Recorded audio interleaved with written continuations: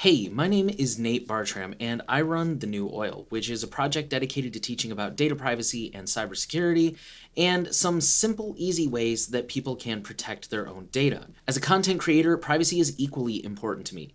It's important for me to be able to protect my identity and control who knows what about me, so that I can avoid things like impersonation, identity theft, and stalking. Speaking of, if you are any kind of a content creator, one of the best ways to compartmentalize is to use an alias name. For example, my real name isn't actually Nate, and I'm actually pretty open about that fact.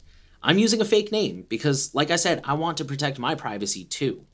You can use a fake name on social media, you can use a shortened version of your real name, like Alex instead of Alexander. In some industries, like Twitch streaming or YouTube, it's okay to use handles and usernames like Markiplier or MrBeast, who are a couple of famous YouTubers.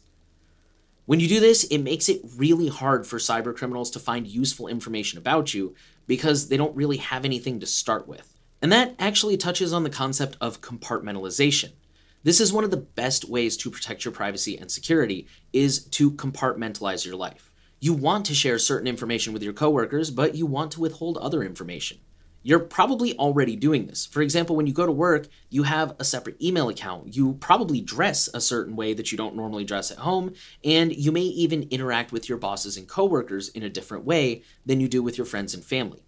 And this doesn't mean you're lying or being fake or anything like that. It's just that you're choosing what you want to share and who with. You can protect your privacy and security by doing this with your digital life.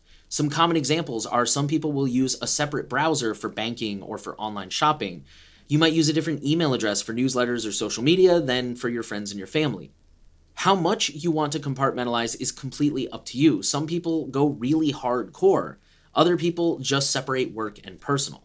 Either way, adding that layer of separation is a really powerful way to protect yourself.